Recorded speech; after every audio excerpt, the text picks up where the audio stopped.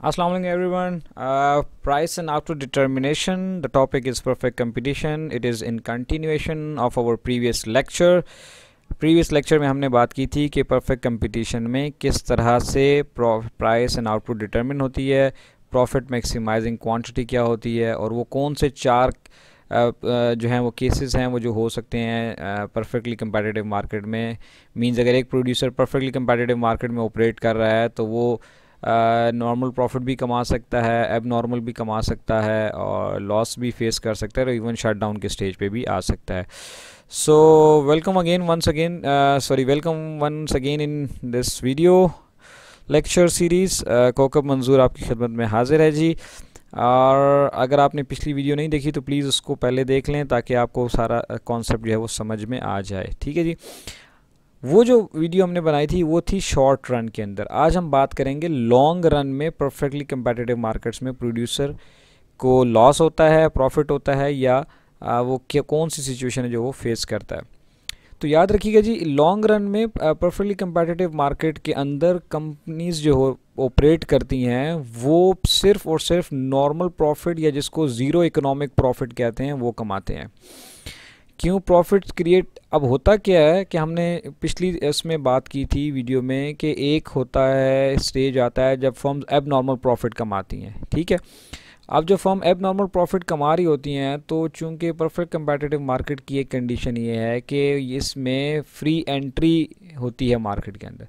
तो होता क्या है, जब मार्केट्स में फर्म परफेक्टली कंपेटिटिव मार्केट में जब फर्म प्रॉफिट कमा रही हैं एब नॉर्मल तो जो लोग हैं बाहर और दूसरी फर्म्स हैं वो ये देखते हैं कि भाई इधर तो बड़ा प्रॉफिट है तो वो भी इस बिज़नेस में आ जाते हैं। जब वो इस बिज़नेस में आते हैं तो क्या होता है कि वो मार्केट में भी उनको भी शेयर मिलना शुरू हो जाता है तो उससे जो एब नॉर्मल प्रॉफिट फर्म कमा रही थी, वो नीचे आना शुरू हो जाता है। इसी तरह वो फिर नॉर्मल प्रॉफिट पे आ जाते हैं सारे। इसी तरह जब हमने ये भी पढ़ा था कि इसमें एक सिचुएशन ये भी आती है कि फर्म्स जो हैं वो शट डाउन के स्टेज पे पहुँच जाते हैं, यानी बिज़नेस बंद कर देते हैं।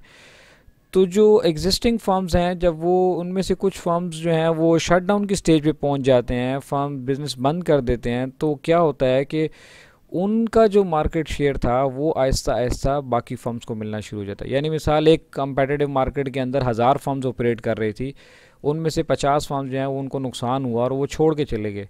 उन्होंने बिज़नेस बंद कर दिया। तो पचास जब चले गए तो उसका हिस्सा जो है, वो बाकी 800, 700, 900 फॉर्म्स में डिस्ट्रीब्यूट होना शुरू हो गया तो उनका जो लॉस स्टेज था वो कवर होके वापस नॉर्मल प्रॉफिट पे आ गया।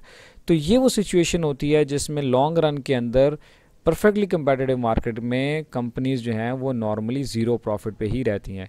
तो क्या होता है यानी जिसको ज़ीरो इकोनॉमिक प्रॉफिट कहते हैं so only at zero profit will entry and exit stop जब बस फर्म नॉर्मल प्रॉफिट कमानी तो ना कोई बाहर से आएगा क्योंकि कोई ख़ास इंसेंटिव नहीं है।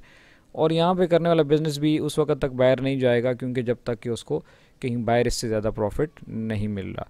So this is the condition we define in perfectly competitive market अब ये इसका ग्राफ ऐसे देखें, ये M C is equal to M R कहाँ पर हो रहा है?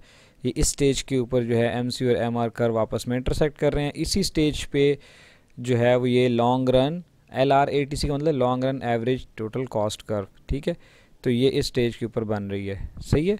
तो ये आ जाएगा, ये तकरीबन थोड़ा सा इसमें आया है इशू। ये आठ यूनिट के ऊपर, फॉर एग्ज़ाम्पल यहाँ पर ये आकर, या यूँ दस यूनिट बन जाएँगे। दस यूनिट के ऊपर आकर इसका मार्केट के अंदर परफेक्टली नॉर्मल प्रॉफिट में सिचुएशन आ जाएगी। ठीक है जी।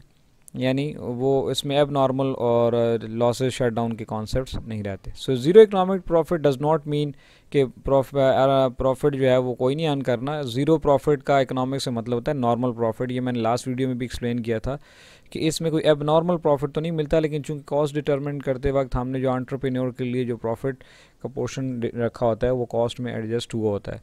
उसी को हम नॉर्मल प्रॉफिट कहते हैं। ठीक है जी। सो so, दोनों वीडियो तो आपने यकीनन देख ली होगी। अब इसमें छोटा सा क्विज़ है इसको आप खुद पढ़ लीजिए और कोशिश कीजिए इसको सॉल्व करने की। ग्राफ बना हुआ है इसको खुद देखें और साथ में दो तीन छोटे छोटे क्वेश्चन हैं। अगर आप इसका आंसर दे सकते हैं तो कमेंट्स में दे के मुझे बताइए कि आपको आंसर्स आए समझ में आ रहे हैं या नहीं। And you can even write the answers in the comment ताकि आपको फिर उसको हम क्रॉस मैच कर लें कि आपको ठीक समझ आई कि नहीं। बहुत शुक्रिया थैंक यू वेरी मच।